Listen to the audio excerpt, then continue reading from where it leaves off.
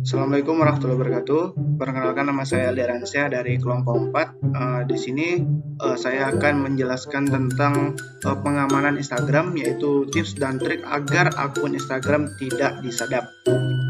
Nah, pengertian dari sadap itu sendiri menurut Kamus Besar Bahasa Indonesia adalah terdengar atau terekam oleh pihak lain tanpa diketahui. Nah, di sini arti sadap sendiri adalah uh, tanpa diketahui oleh kita, akun kita sudah berada di tangan orang lain. Nah, di sini ada trip dan tips dan trik dari uh, pengamanan Instagram agar tidak mudah disadap oleh orang lain.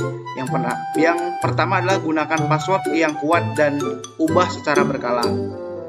Nah, contohnya di sini saya akan uh, me mempraktekkan gimana cara membuatnya. Oke, selanjutnya uh, untuk um, gunakan password yang kuat dan ubah secara berkala. Nah, di sini untuk mengubah passwordnya di sini kita contohkan password lama saya adalah 123 berarti. Nah, gunakan password yang baru. Password yang kuat adalah password yang uh, terdiri dari huruf, angka, dan beberapa simbol. Contohnya saya akan buat uh, LD 123 titik. LD 123 titik. Nah, dengan adanya itu maka uh, orang akan tidak mengira bahwa kita menggunakan uh, beberapa karakter, contohnya kayak huruf, simbol maupun angka. Oke, seperti itu untuk pengamanan secara berkala. Nah, secara berkalanya ini lebih bagus kita meng menggantinya sebulan sekali atau paling lama adalah uh, eh, 3 sampai 6 bulan itu paling lama untuk mengganti passwordnya. Oke, sekian. Selanjutnya akan dilanjutkan oleh teman saya. Yang kedua, aktifkan two-factor authentication. Mengingat sekarang sering terjadi penyerapan pada akun, maka dibuatlah dua faktor autentikasi. Dua faktor autentikasi ini merupakan sebuah keamanan online di mana nantinya kita akan diminta melakukan verifikasi ID sebanyak dua kali pada saat login. Dan biasanya kita juga akan menerima kode khusus yang dikirim melalui SMS untuk melakukan verifikasi ID, sehingga nantinya para penyadap yang ingin mengakses akun tidak akan bisa masuk karena harus membutuhkan verifikasi ID yaitu berupa kode khusus. 3. Pastikan akun email aman. Akun email akan selalu ditautkan pada akun Instagram sebagai akses masuk. Bayangkan saja jika orang asing memiliki akses masuk ke email, dengan mudah ia akan punya akses ke semua media sosial yang terhubung pada email. Maka dari itu, selain mengamankan akun Instagram, pastikan juga email sudah dilengkapi dengan autentikasi dua faktor dan inskripsi email untuk melindungi akun dari peretas.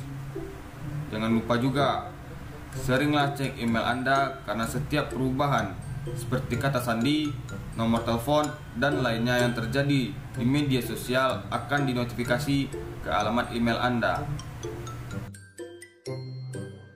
Keempat, jangan simpan password di browser.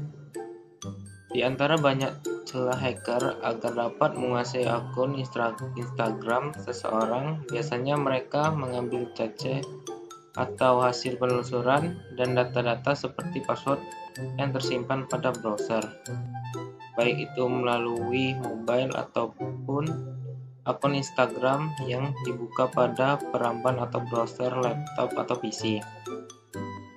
Untuk saat untuk itu, saat Anda saat sedang ingin login di browser pada device mana pun, jangan sekali-sekali mengklik pop-up notification yang meminta Anda untuk menyimpan password. Anda bisa mengabaikan notifikasi tersebut atau dengan mengklik tombol jangan sekarang. Cara ini juga bisa dilakukan pada akun-akun yang lain. Entah itu akun sosial media lainnya ataupun data login e-banking website atau blog, situs online shop, serta aplikasi web tools. Dengan begitu, akun Instagram Anda akan sedikit lebih aman dari serangan hacker. Nah, yang kelima, logoutkan akun saat login dengan perangkat orang lain. Kebiasaan buruk yang sering dilakukan seseorang yaitu hanya menutup begitu saja akun Instagram yang dibuka pada ponsel orang lain atau pada komputer bukan milik sendiri.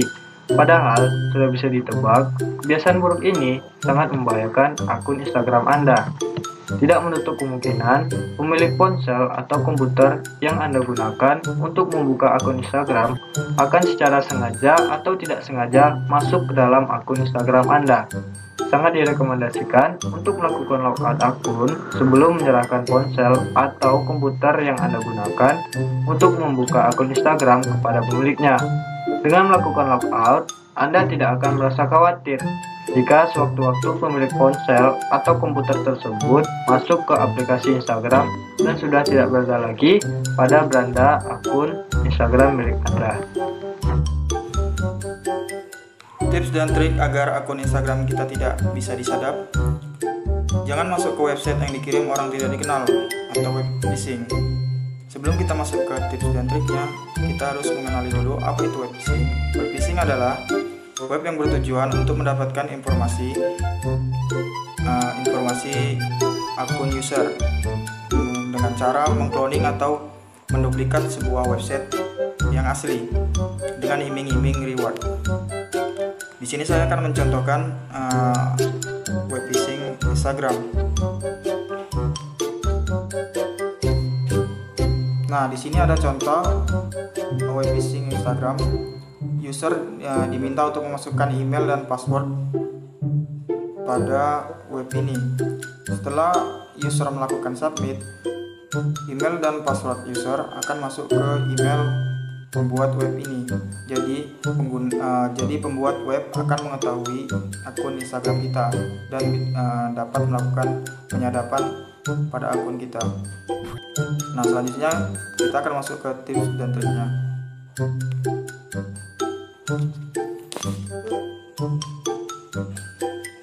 Bagaimana tips dan triknya? Yang pertama, jangan sembarang mengklik link yang dikirim dari orang tidak dikenal.